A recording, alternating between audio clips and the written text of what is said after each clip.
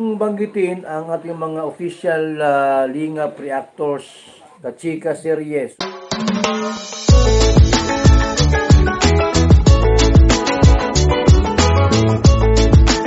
Masama daw si Macy.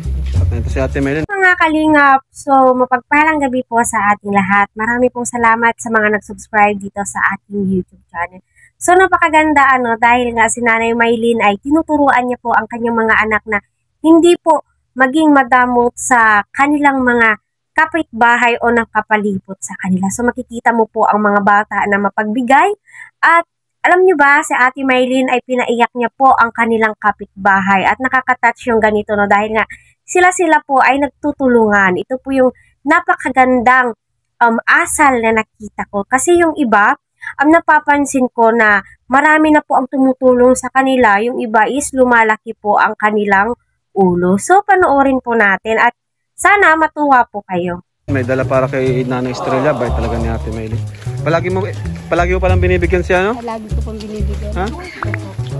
Yan no, palagi niya pong binibigyan si Nanay Estrella. Sino ba naman ang hindi magtutulungan kundi mga kapitbahay lang po ano. So napakabait nga ti Maylin at bukod sa mabait is napakasipag niya. Kaya ako ay humahanga ako sa kanyang katatagan, kasipagan at mapagbigay, maunawain at makikita mo talaga sa kanyang mga anak na yung reflection niya ano na nakukuha po ng kanyang mga anak na aminin po natin napakasipag po ng kanyang anak lalong lalo na si Mark at saka si In Lloyd no sila May na tumutulong po sila sa gawaing bahay so sana lahat ng bata ganito po ano Palagi mo palang binibigyan si Nanay Estrella. Kaya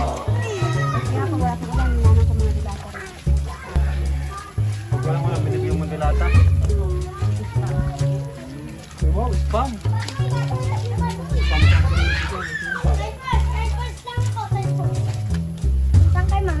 puno kahit umulan um, sumama pa rin po sila um, Macy at saka si Inloyd napakaganda nito dahil nga nakikita po ng kanyang mga anak yung mga ginagawa niyang pagtulong sa kanyang kapitbahay para kahit papaano ay may apply nila Macy. Lumaki po silang hindi madamot, di ba?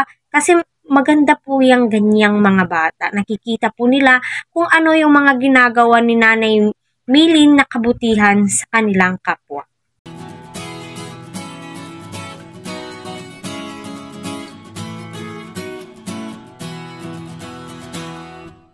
Umiyak na naman si ano.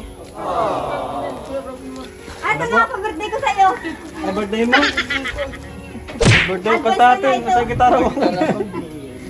Advance happy birthday. Para sa'yo. Lumiyak. Nakataan ka namin. nga ang binigyan, pinuntahan ni Nanay Maylin mismo doon sa kanilang bahay at saka si Kalingap Rab. At napabilib nga si Kalingap Rab sa ginawa at ipinakita po ni Ate Maylin sa kanyang kapitbahay. Kaya naman si Ate Maylin ay bumubuhos po ang biyayang pinagkaloob po ng mga taong um, nagbibigay po sa kanya. Kumbaga ang kanyang mga sponsor.